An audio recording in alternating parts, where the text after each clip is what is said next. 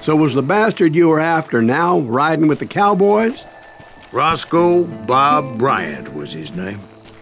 Oh. But no, this time it was a different bastard I was after. The aforementioned Mr. Ringo. And yes, he was working for Old Man Clanton.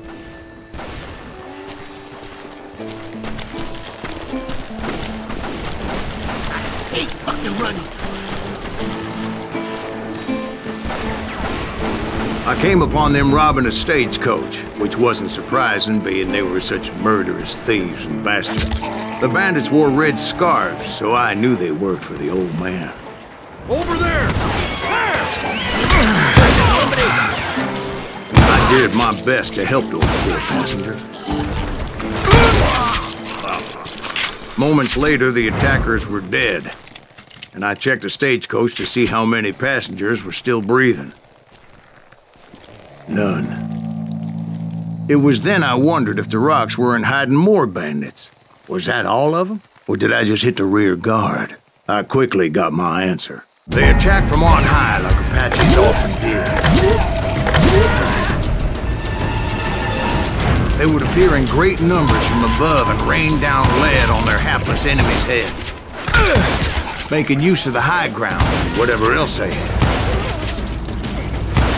Yep, the Apaches always appeared out of nowhere, and there never seemed to be an end to them. Hold on. Were you attacked by Apaches? W what happened to the cowboys?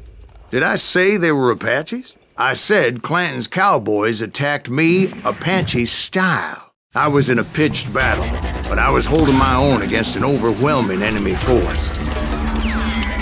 Hey, fucking running.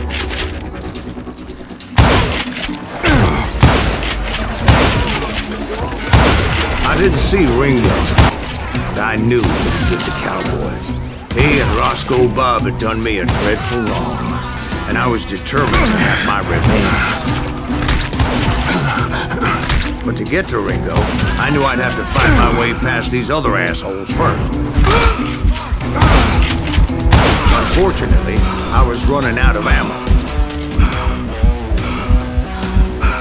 Another perfect example of my relative inexperience as a hunter of men. I immediately knew that a tactical retreat was called for, as my vengeful fury was much less impressive without the bullets to back it up.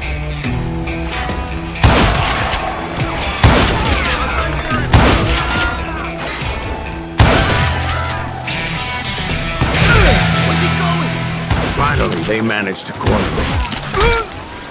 Trapped as I was, the odds of my survival seemed pretty slim.